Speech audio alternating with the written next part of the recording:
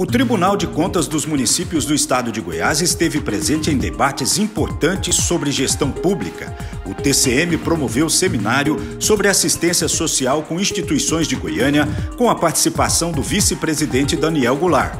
Foram esclarecidas dúvidas sobre a Lei de Diretrizes Orçamentárias, Lei Orçamentária Anual, Plano Plurianual, Programas e Fundos Municipais o presidente Joaquim de Castro participou do evento de divulgação do resultado do Programa Nacional de Prevenção e Corrupção realizado pelo Tribunal de Contas da União, Controladoria Geral da União e órgãos estaduais e municipais de controle. O tribunal assinou o termo de fomento com a Organização das Voluntárias de Goiás para o repasse de 100 mil reais para a compra de cestas básicas que serão doadas às famílias carentes que tiveram situação agravada em função da pandemia da Covid-19. O TCM foi parceiro da Federação Goiana dos Municípios na realização do encontro anual de gestores, que contou com a participação do presidente Joaquim de Castro, presidente da FGM Haroldo Naves, do secretário da Controladoria Geral do Estado Henrique Ziller e do governador Ronaldo Caiado, entre outras autoridades.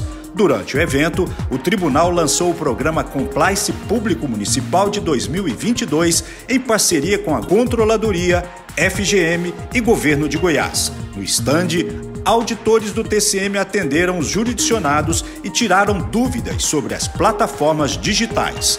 Outro tema foi a aplicação de recursos na educação. O presidente Joaquim de Castro elogiou o empenho dos prefeitos e governo do estado para superar a crise econômica e social. Os prefeitos cumpriram fielmente a legislação, os prefeitos e gestores deram é, uma, uma satisfação à sociedade à altura. E isso é muito bom e o tribunal tem que reconhecer isso de público.